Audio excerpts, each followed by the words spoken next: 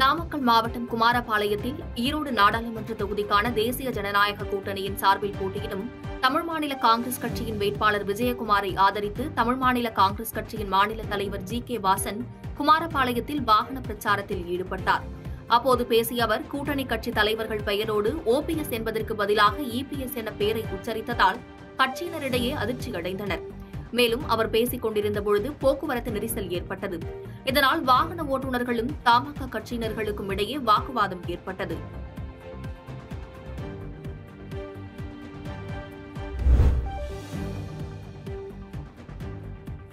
திருப்பூர் மாவட்டம் பல்லடம் நகர் பகுதியில் கோவை நாடாளுமன்ற தொகுதி நாம் தமிழர் கட்சி வேட்பாளர் கலாமணி தனது ஆதரவாளர்களுடன் தினசரி சந்தை மற்றும் வார சந்தையில் பொதுமக்களிடம் நோட்டீஸ் விநியோகித்து வாக்கு கேட்டார்.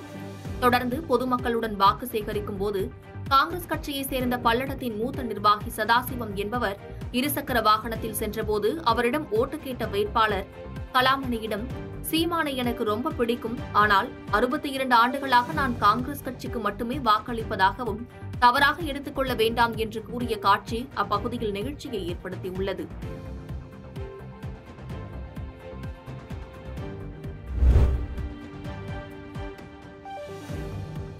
கன்னியாகுமரி மாவட்டம் நாகர்கோவில் வடசேரியில் பழமை வாய்ந்த கனகமூலம் காய்கறி சந்தையை இடித்து தரைமட்டமாக்க நினைக்கும் திமுக அரசை கண்டித்து வியாபாரிகள் சங்கத்தினர் தேர்தல் புறக்கணிப்பு பேனர்கள் வைத்து ஒட்டியுள்ளனர். மேலும் இதனால் நாடாளுமன்ற தேர்தலில் பத்தாயிரம் வாக்காளர்கள் வாக்களிக்க மாட்டார்கள் என அனைத்து வியாபாரிகள் சங்கங்கள் அறிவித்துள்ளன.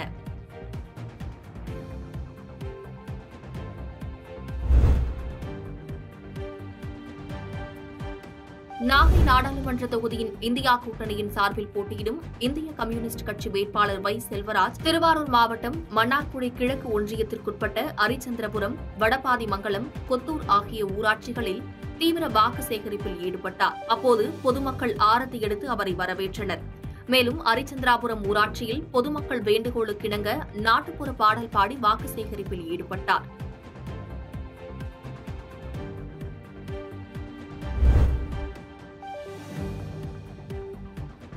செங்கல்பட்டு மாவட்டம் செங்கல்பட்டு அரசு மருத்துவக் கல்லூரி மருத்துவமனை இயங்கி வருகிறது.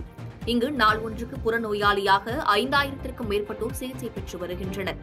இந்த நிலையில் மருத்துவமனையில் தூய்மைப் பணிகளை மேற்கொள்ளவும் மருத்துவ உபகரணங்களை அகற்றுவதற்கும் பாதுகாப்பு பணியில் ஈடுபடவும் ஒப்பந்த தொழிலாளர்கள் முன்னூறுக்கும் மேற்பட்டோர் பணியில் உள்ளனர். இந்த நிலையில் கடந்த ஓராண்டு காலமாக இவர்களுக்கு பி எஃப் இஎஸ்ஐ பிடித்தம் செய்யப்படவில்லை என்றும் குறிப்பிட்ட தேதியில் சம்பளம் வழங்கப்படவில்லை என்றும் சம்பள உயர்வு இதுவரை உயர்த்தப்படவில்லை என்றும் கூறி ஊதிய உயர்வு பி எஃப் இஎஸ்ஐ போன்ற ஒன்றை உடனடியாக அமல்படுத்த வேண்டும் என்று கோரி தொழிலாளர்கள் மருத்துவமனை எதிரே இன்று பணியை புறக்கணித்து முற்றுகை போராட்டத்தில் ஈடுபட்டனர். பாதகம் செய்பவரை கண்டால் நாம் பயங்கொள்ளலாகாது பாப்பா. மோதி மிதித்து விடு பாப்பா. அவர் முகத்தில் உமிழ்ந்து விடு பாப்பா. அண்மை செய்திகளை உடனுக்குடன் தெரிந்து கொள்ள இணைந்திருங்கள் இயம்நாடு தொலைக்காட்சியுடன்.